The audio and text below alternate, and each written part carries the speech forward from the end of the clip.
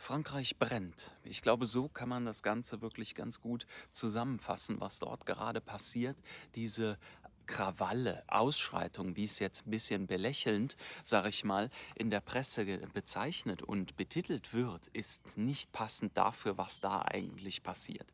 Und ich habe ganz große Befürchtung, dass wir solche Entwicklungen wie in Frankreich auch in den nächsten Jahren in anderen EU-Ländern und speziell vielleicht sogar auch in Deutschland sehen werden. Und damit moin zusammen, mein Name ist Olli, wenn du neu bist, lass gerne ein Abo da. Dachte mir, heute nehme ich mal ein Video draußen auf bei diesem wunderschönen Wetter zwar ein bisschen bewölkt, aber nichtsdestotrotz ist es angenehm gerade. Ihr könnt ja eure Meinung zu diesem Thema unbedingt mal unten reinschreiben, wer das noch nicht so mitbekommen hat. Es geht um eigentlich, der Auslöser war ja ein Jugendlicher, 17-Jähriger, der durch verschiedene Delikte auch wohl schon bei der Polizei bekannt war.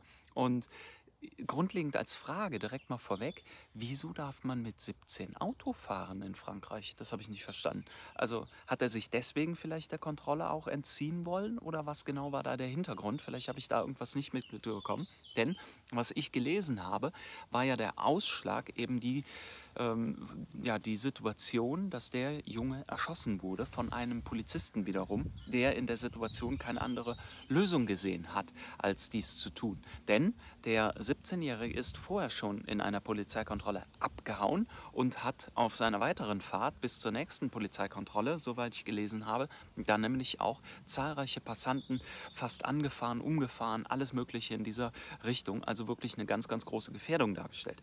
Was ich auch gelesen habe, sind zwei verschiedene Sachen. Einmal, dass er wie gesagt, schon sehr äh, mehrfach straffällig geworden ist, Polizei bekannt war und auch mehrfach vor Gericht gestanden hätte. Auf der anderen Seite habe ich gelesen, dass das nicht stimmen würde, dass er noch nie vor Gericht gestanden hatte. Wenn ihr da mehr zu wisst, schreibt das gerne mal unten in die Kommentare rein. Über die Situation, dass das Ganze als Proteste, Krawalle oder Demos bezeichnet wird. Sorry, aber das passt hinten und vorne nicht zu dem, was ich da an Videos und an Bildern per Twitter auch besonders gesehen habe, wo man es wirklich ungeschönt sich ganz genau angucken kann. Das ist wirklich eine Dimension unfassbar unfassbar, was da abgeht. Ich glaube, das kann man eigentlich schon bürgerkriegsähnliche Zustände nennen, gewalttätige Ausschreitungen oder vielleicht auch einfach als Machtprobe. Machtprobe von dieser Klientel, die sich dort versucht breit zu machen und guckt einfach, wie weit man gehen kann. Und dass das natürlich viele jetzt auch richtig ausnutzen, so muss man es ja sagen, ist natürlich ebenfalls immer wieder auch bekannt bei solchen gesellschaftlichen Ausschreitungen, dass es heißt, jo, dann machen wir jetzt hier Plünderungen und ähnliches, die natürlich auch immens stattfinden. Und dass man gegen eine Demo oder ähnliches oder gegen leichte Krawalle mit 45.000 Einsatzkräften vorgeht, das steht so in keiner Relation. Deswegen muss man wirklich davon ausgehen, dass es hier viel, viel krasser ist. Und nochmal, ich habe wirklich ganz große Angst, dass wir eine ähnliche Entwicklung auch in Deutschland sehen werden. Wenn ich damit falsch liege, schreibt das gerne mal unten in die Kommentare rein. Und wen überrascht das? Wen überrascht jetzt diese Situation, das, was jetzt hier passiert?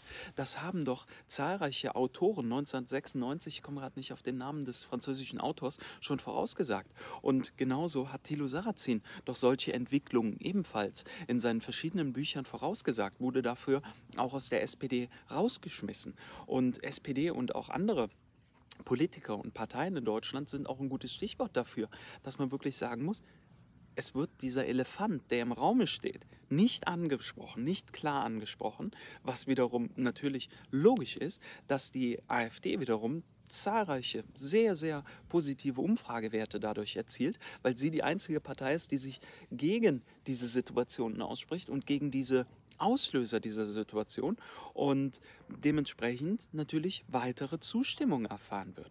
Und genau vor dieser Situation, nicht nur Sarrazin und andere Autoren, auch französische Generäle haben doch vor ein paar Jahren vor solchen Ausnahmezuständen schon gewarnt, dass es darauf hinauslaufen wird, wenn man jetzt, also vor ein paar Jahren, sich nicht mit der Ausgangssituation beschäftigen wird und dagegen vorgehen wird. Also, ne, Aktion, Reaktion oder logische Konsequenz aus der Sache, was jetzt die letzten Jahre passiert ist, wie sich verhalten wurde, was für eine Politik in Frankreich im Speziellen stattgefunden hat. Und weiter, was ja auch noch richtig, richtig krass ist, die Plünderung hatte ich ja gerade eben angesprochen. Das ist ja ein ganz, ganz großer Part, dass dann viele einfach sich so mitgezogen fühlen, sage ich mal dazu, um die Situation für sich persönlich zum Vorteil auszunutzen. Ja, da besorge ich mir jetzt mal einen neuen Fernseher, ein neues Handy, iPhone oder sonst was, weil man es jetzt gerade kann und nicht solche Konsequenzen mitrechnen muss, wenn man da in irgendein Geschäft mit 50, 100 oder sogar 500 anderen irgendwo reinprescht, in großen großen ähm, Technikgeschäft. Äh, und dann die Sachen da rausholt. Weil wenn du dann auch noch vermummt bist, wirst du nicht erkannt und ähnliches. Genauso natürlich auch diese brachiale Zerstörung. Also was ich da in Videos gesehen habe, Leute, das ist schier unfassbar. Brennende Autos, zerstörte Straßenzüge, die wirklich kaputt sind. Fensterscheiben, braucht man gar nicht drüber reden. Auch öffentliche Einrichtungen dann auch öffentliche andere Sachen wie Laternen, Ampeln. Da waren sie mit der Flex unterwegs und haben die Laternen und die Ampeln abgeflext. Also was da für Ideen gerade herrschen, das ist so unfassbar, was hier passiert. Das ist absoluter Wahnsinn. Präsident Macron hat sich mittlerweile auch dazu entschieden und mit Steinmeier, unserem Präsidenten, telefoniert und entschieden, nicht nach Deutschland jetzt zu kommen, obwohl diese Reise ja eigentlich schon circa ein Jahr lang geplant war. Und wir haben ja ich sag mal, größeres Gesprächsbedarf, Frankreich und Deutschland, gerade in der aktuellen Situation. Olaf Scholz ist meines Erachtens nicht ein guter ja, wie soll man sagen, weltlich vernetzter Staatsmann. Das muss man Mutti wirklich lassen. Sie konnte das definitiv besser auf einem anderen Niveau als Scholz. Und dementsprechend hätte es Deutschland sehr, sehr gut getan, wenn dort gute Gespräche jetzt stattgefunden hätten mit Macron, dass der natürlich zu Hause bleibt und guckt, dass der Laden da ein bisschen aufgeräumt wird. Das denke ich ist nur nachvollziehbar. Aber nochmal, dass es weiterhin in Deutschland nicht klar ausgesprochen werden darf und wird, was eigentlich die Auslöser dieser Situation sind, das wird in Deutschland die AfD weiter stärken und in Frankreich ganz klar Marie Le Pen, die ja im letzten Jahr noch die Wahlen verloren hat, kann ich mir sehr gut vorstellen, dass es 2027 sind die nächsten Präsidentschaftswahlen ganz ganz anders aussehen wird, dass Frankreich sich dort umentscheiden wird, weil man dann die ja, Schnauze auf Deutsch gesagt, voll hat von der Situation und eine Veränderung haben möchte, wieder zurück zu alten Werten, was sich über Jahrzehnte hinweg positiv ja, entwickelt hatte.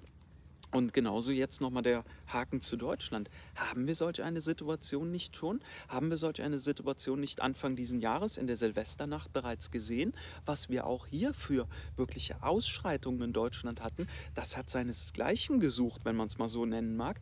Denn ich war seinerzeit in Köln in der Silvesternacht, war allerdings nicht auf der Domplatte, wo es wirklich so massiv eskaliert ist, sondern war auf einer der Rheinbrücken und es war auch krass. Es war wirklich krass. Ich habe so äh, viele krasse Erinnerungen an diese Silvesternacht und das waren erst die zarten Anfänge. Davon bin ich überzeugt, dass es in den nächsten Jahren noch viel, viel schlimmer werden kann, wenn wiederum die Regierung jetzt nicht richtig eingreifen wird. Aber ich sehe nicht, dass sie geplant hat, hier einzugreifen.